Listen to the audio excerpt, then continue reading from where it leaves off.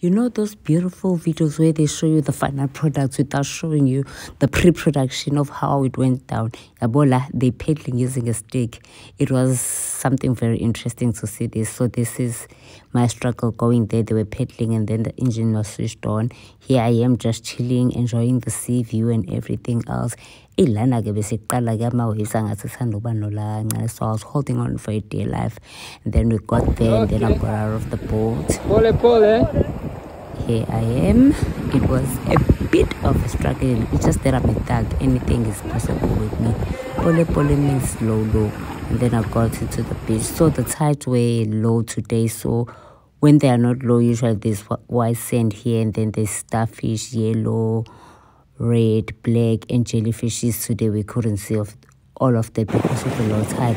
Then we finished our beautiful photo shoot. Oh, I. I every of it. And then I to get on the boat again and go back to the resort. Because it's, it's like um like 20 minutes um drive boat cruise yeah. And then here I was putting back the starfish inside the water because I can't take them home and I can't eat them. So I can I put it back into the water. Oh where they go. And then here's Captain I'm nice holding it down. Hamba ngo 120 my daughter. And then there was a beautiful